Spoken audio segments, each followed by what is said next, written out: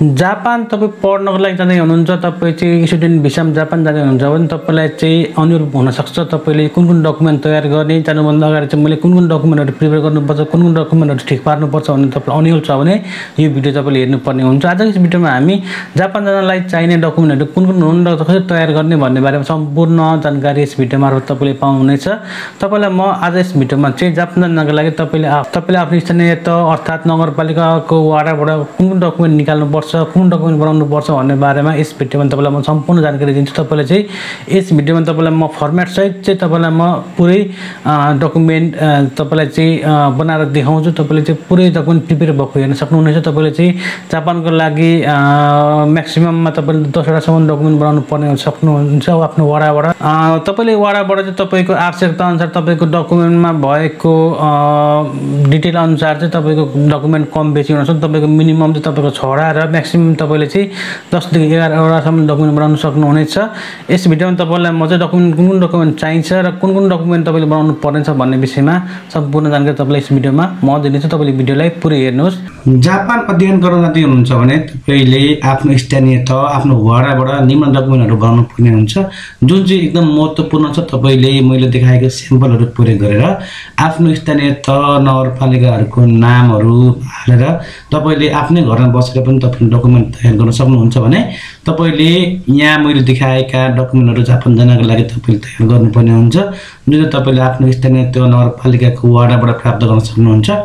पहिलो डकुमेन्ट छ relationship verification certificate भन्ने छ जुन चाहिँ तपाईँले आफ्नो फ्यामिली मेम्बरहरूको नाम र फोटोसहितको रिलेसनसिप सर्टिफिकेट बनाउनु पर्ने हुन्छ। त्यहाँ तपाईँले आफ्नो नाम एप्लिकेन्टमा राखेर तपाईँले आफ्नो बुवा मम्मीको नामहरू हाल्न सक्नुहुन्छ। र तपाईँले त्यहाँनिर थम इम्प्रेसन पनि लगाउन सक्नुहुन्छ। आफ्नो लेफ्ट राइटको थम इम्प्रेसन र तपाईँले आफ्नो वार्डको वार्ड चेयरम्यान अथवा वार्ड अध्यक्षको नाम लगाएर चाहिँ नाता प्रमाणित पहिलो रहेको छ।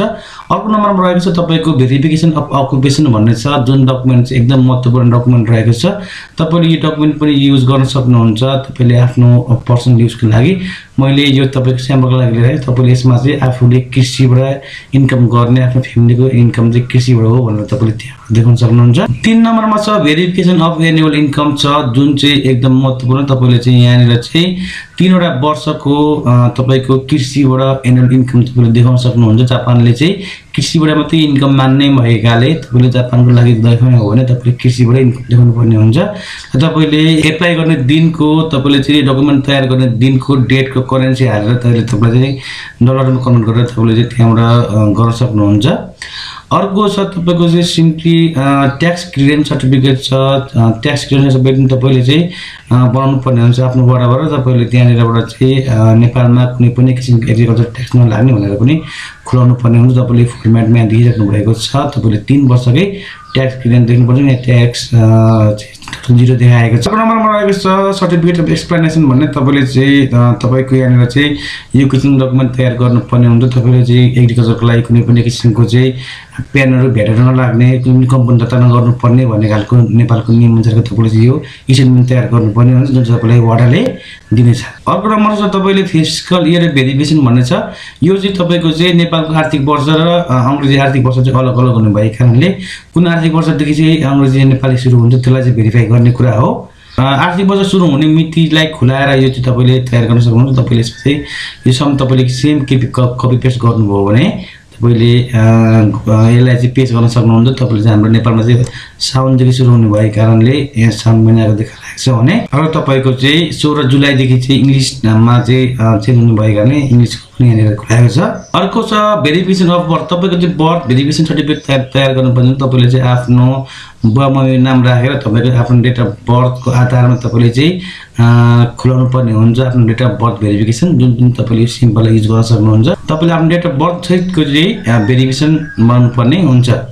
अर्को नम्बरमा छ तपाईँको चाहिँ स्ट्याम्प भेरिफिकेसन तपाईँको चाहिँ यदि रिलेटेड प्याड र स्ट्याम्पहरूमा अलग अलग लेखिएका छन् तपाईँको चाहिँ स्ट्याम्प रिलेटेड प्याडको चाहिँ अलग अलग छ भने तपाईँले चाहिँ यो पनि तयार गर्न सक्नुहुन्छ किनकि कुनै कुनै स्ट्याम्पहरूले चाहिँ आफ्नो रिलेटेड प्याडमा लेखिएको कुरा र स्ट्या- स्ट्याम्पमा भएको कुरा अलग अलग किसिमको टाइप भएको कारणले त्यसलाई खुलाएर तपाईँले यो तयार गर्न सक्नुहुन्छ। तपाईँको यदि यति प्रब्लम छैन स्ट्याम्पहरूमा भने तपाईँले बनाइराख्नु पर्ने जरुरी छैन। भेरिफिकेसन एड्रेस चाहिँ तपाईँको स्थानीय तपाईँको लोकल एड्रेस भेरिफिकेसन गर्नुपर्ने हुन्छ दुई हजार चौहत्तर सालमा चाहिँ त बनिराख्दाखेरि त्योभन्दा अगाडि रहेको गाउँपालिका गाविसहरू चाहिँ परिवर्तन भएर नगरपालिका गाउँपालिका अथवा चाहिँ वो महानगरपालिका भएको कारणले त्यो परिवर्तन भएको हो भनेर चाहिँ त्यो कुरा गर्नु पऱ्यो भने चाहिँ तपाईँले चाहिँ सिम्पली आफ्नो प्रदेशको नाम पनि चेन्ज भएको कुराहरू तपाईँले किनकि चाहिँ प्रदेश एक प्रदेश दुई तिन चार भनेर तोकिएको थियो भने अहिले चाहिँ नाम सबैको भइसकेको छ। अर्को नम्बरमा छ भेरिफिकेसन लास्ट नेम तपाईँको कास्टमा समस्या छ तपाईँको बम्बईको कास्ट अर्कै र तपाईँको अर्कै छ भने तपाईँले त्यो कास्ट भेरिफिकेसन पनि बनाउन सक्नुहुन्छ। तपाईँले यी डकुमेन्टहरू तयार गर्नुपर्ने हुन्छ एप्लिकेसन थबाट